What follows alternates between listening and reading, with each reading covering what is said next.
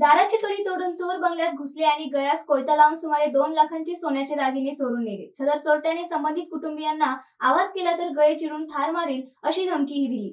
बंगल्याबाहेर वाहनाचा आवाज आल्याने चोरट्यांनी तेथून पळ काढला. त्यामुळे बंगल्यातील इतर वस्तू वाचल्या.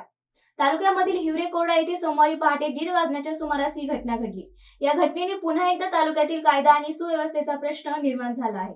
पारणे तालुक्यात चोरी दरोडे मारहाण असे सत्र चालूच असून सोमवारी पहाटे दीड वाजण्याच्या सुमारास सुखदेव शेळके यांच्या बंगल्यास दोघा चोरट्यांनी प्रवेश करत बंगल्याच्या दारास आतून लावलेली कडी विशिष्ट अवजाराने तोडून आत प्रवेश केला. बंगल्यात झोपलेले सुखदेव शेळके यांचे चिरंजीव अमोल यांना चोरट्यांचा आवाज आल्याने ते उठून बाहेर पाहण्यासाठी खिडकीजवळ निघाले असता समोर एक चोरटा उभा होता. त्याने अमोल यांच्या गळ्यास कोयता लावून पुन्हा बेडवर नेऊन बसवले. अमोल व चोरट्यामध्ये सुरू असलेल्या संभाषणाच्या आवाजाने अमोल यांची पत्नीही जागी झाली. पत्नीच्या गळ्यासही कोयता लावून आवाज केला तर गळे चिरून ठार मारू अशी धमकी चोरट्याने दिली. त्याच दरम्यान दुसरा चोरटा तेथे आला. पहिल्याने अमोल यांच्या हातातील अंगठी काढून घेत पत्नीच्या गळ्यातील मणी मंगळसूत्र सोन्याची चैन हस्तगत केली. अजून काही दागिने असतील तर ते काढून द्या असे धमकवल्यानंतर अमोल यांच्या पत्नीने त्याच खोलीत असलेल्या बॅग मधून इतर दागिने काढून चोरट्याकडे सुपूर्द केले. या घटनेने परिसरात घबराट पसरली आहे. पोलिसांना वाकुल्या दाखवत चोरट्यांची इतकी हिंमत होतीच कशी असा प्रश्न येथील नागरिकांनी उपस्थित केला आहे.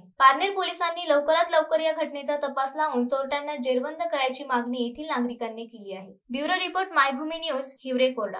Ahmednagar जिल्ह्यासह संपूर्ण महाराष्ट्रातील प्रत्येक घडामोडीची अपडेट पाहण्यासाठी मायभूमी न्यूज आवाज जनमनाचा या चॅनलला सबस्क्राईब करा आणि बेल आयकॉनवर क्लिक करा.